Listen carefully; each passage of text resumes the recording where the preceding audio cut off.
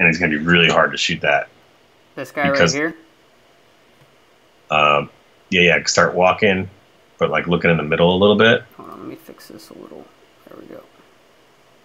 You can shoot the hell out of that command center guy if he's trying to move there on the break. Yep. And you don't have to commit all the way. Like, you can pull Yeah. up right here, shoot, and be like, uh, well, dang it, I got to come back. But, you know, if that guy's going up there, eh, you know, that's going to be pretty hard for that command center guy.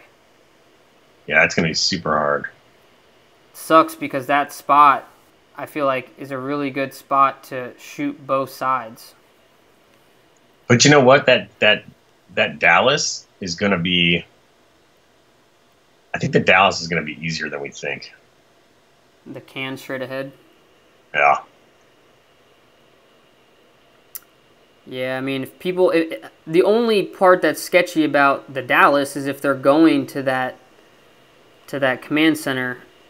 You're not going to be able to go to command center But- because Chicago Cross will fuck right. them up. Exactly. So if they're not going there, you mean you're going right now. If you just go straight forward, you're going to be going underneath your Chicago cross, his gun, which is basically setting you up to get up there.